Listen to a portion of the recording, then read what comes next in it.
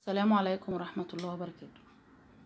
معانا النهاردة غرزة جديدة اللي صورتها ظهرت في أول الفيديو. الصورة دي جميلة جدا ممكن تستخدم كغرزة صيفي لبلوزة أو بلرو ممكن تستخدم انت ممكن تستخدميها كسكارف أو تستخدميها أيا كان مفرش زي ما تحبي. الغرزة دي جميلة جدا وسهلة جدا. نبتدي نقول بسم الله. هناخد سلسلة بالمقاس اللي إحنا عايزينه. إحنا بنعمل عينة مصغرة لشكل الغرزة. بعد كده هنعمل إيه؟ نسيب خمس سلاسل واحد اتنين تلاتة اربعة خمسة وندخل في السلسلة الستة. وناخد عمود. وبعد كده ناخد سلسلتين وناخد عمود في نفس المكان.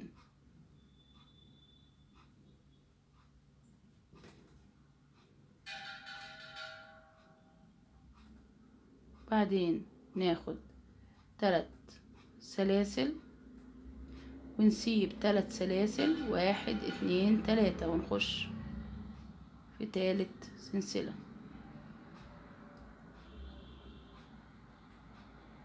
بعد كده ناخد تلات سلاسل واحد اتنين تلاتة وتالت سلسلة نكرر تاني اللي إحنا عملناه. واحد اتنين تلاتة نخش بعمود.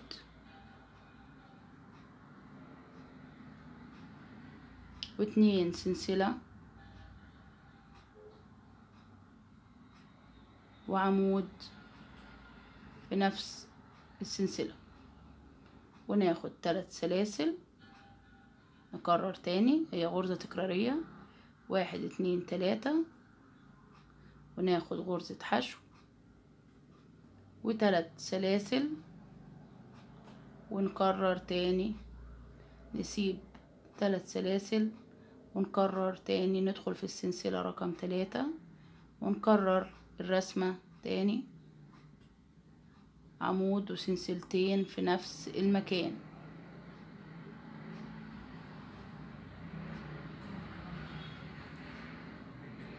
وناخد تلات سلاسل ونكرر تاني وننزل في الغرزة في السلسلة التالتة بغرزة حشو. وتلات سلاسل. ونكرر تاني عمود. السلسلة التالتة عمود. وسلسلتين. وعمود في نفس المكان. وناخد ثلاث سلاسل وهكذا لنهاية السطر. ونسيب ندخل في السلسلة رقم ثلاثة وثلاث سلاسل.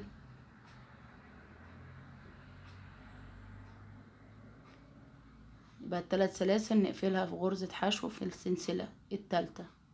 وثلاث سلاسل. وعمود. وسلسلتين في نفس المكان. وبعدين عشان ننهي السطر.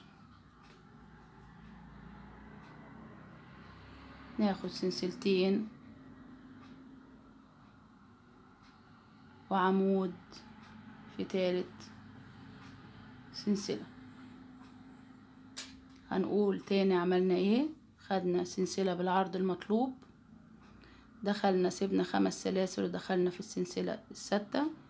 وخدنا عمود وسلسلتين وعمود في نفس المكان. وبعد كده تلات سلاسل وغرزة حشو نقفلهم في السلسلة رقم تلاتة. بعد كده تلات سلاسل وناخد عمودين عمود وسلسلتين وعمود في نفس السلسلة. وهكذا لنهاية السطر. السطر رقم اتنين هنعمل إيه؟ هناخد خمس سلاسل واحد اتنين تلاتة أربعة خمسة. وندخل بين العمودين والسلسلتين ونعمل سبع عواميد. واحد اتنين تلاتة أربعة. خمسة ستة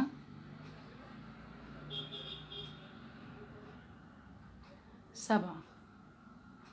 بعد ما ناخد السبع عمدان في نفس لا في نفس المكان اللي فيه العمودين والسن... العمود والسنسلتين والعمود هنقوم داخلين على طول بدون أي زيادة في العمود والسنسلتين والعمود اللي بعده ونسيب المكان اللي فيه التلات سلاسل وغرزة حشو وتلات سلاسل. ناخد سبع عواميد ونكرر. تاني واحد اتنين تلاتة أربعة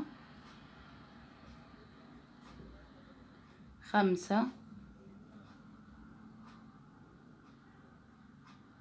ستة سبعة سبع عمدان بتوعنا وندخل نسيب الغرزة الثلاث سلاسل غرزة الحشو الثلاث سلاسل وندخل في الغرزة اللي فيها عمودين وسن عمود وسنسلتين وعمود في نفس المكان وهكذا لنهاية السطر. واحد اتنين تلاتة أربعة خمسة ستة سبعة. غرزة شكلها جميل جدا.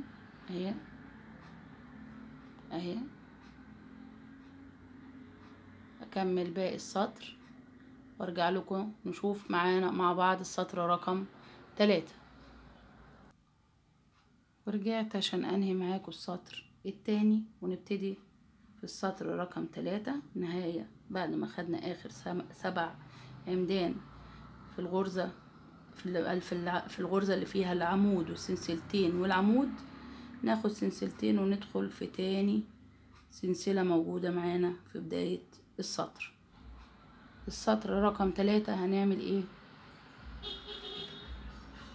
هناخد ده البداية بتاعتنا واحد اتنين تلاتة أربعة خمسة.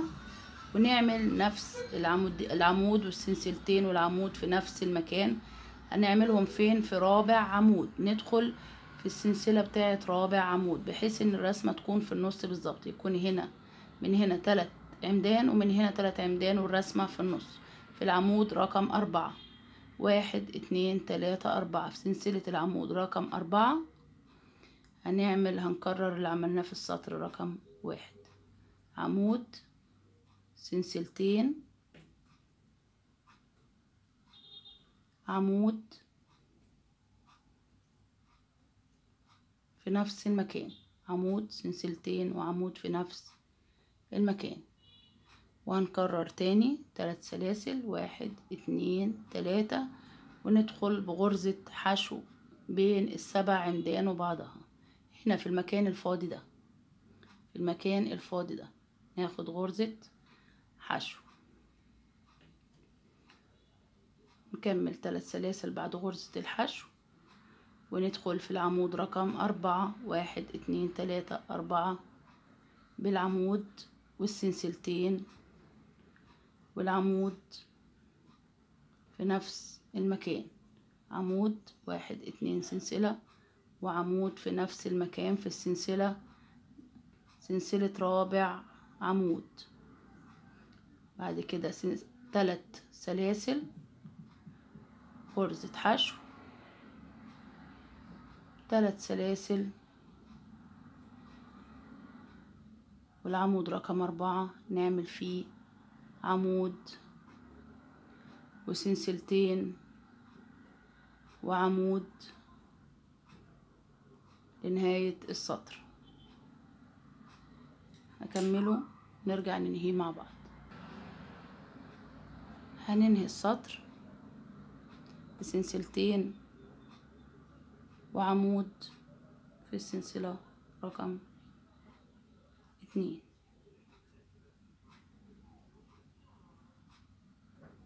السطر اللي بعد كده هنكرر نفس اللي عملناه قبل كده.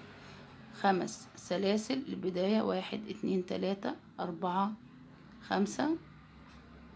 وندخل في الرسمة اللي فيها العمود وسلسلتين والعمود ونعمل فيها سبع عمدان.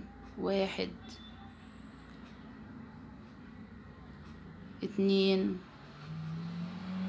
تلاتة. أربعة خمسة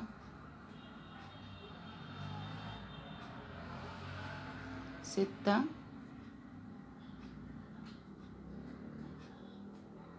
سبعة.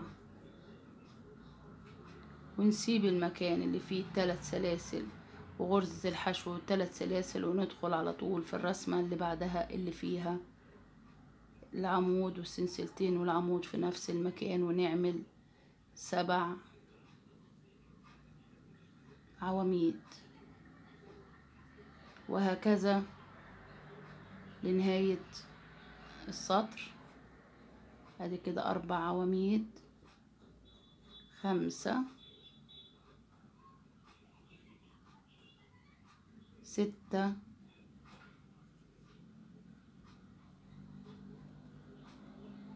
سبعة وهكذا وندخل في الرسمة اللي فيها نسيب التلات سلاسل وغرزة الحشو والتلات سلاسل. وندخل في الرسمة اللي فيها العمود والسلسلتين والعمود وهكذا لنهاية السطر. ورجعت لكم بعد ما اشتغلت أكتر من سطر في الغرزة عشان تشوفوا الشكل بتاعها. غرزة جميلة جدا تنفع مفرش أو بلوزة. أو أي حاجة أنت محتاجاها أو سكارف جميلة جدا.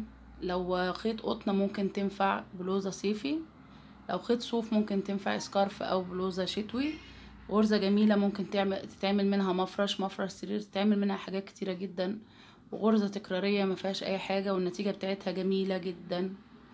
أتمنى إن أنتوا تجربوها. ولو عجبك الفيديو دوس لايك واشترك في القناة وفعل الجرس ليصلك مني كل جديد إن شاء الله.